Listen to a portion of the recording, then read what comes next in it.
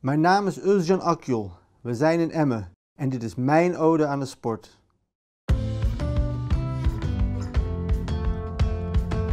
We worden allemaal ouder, maar hoe? Dat bepaal jij zelf.